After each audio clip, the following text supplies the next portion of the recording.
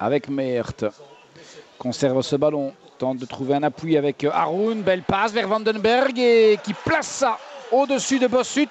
Et c'est 0-1. C'est pratique. De Soulmou. Reina est passé. Colpart aussi. Et Bossut qui intervient. Vandenberg. Le doublé en deux minutes.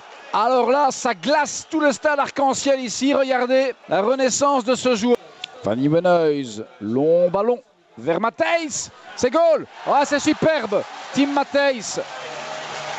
Ah oui, il fallait le placer celui-là. Et on a tout apporté en seconde période.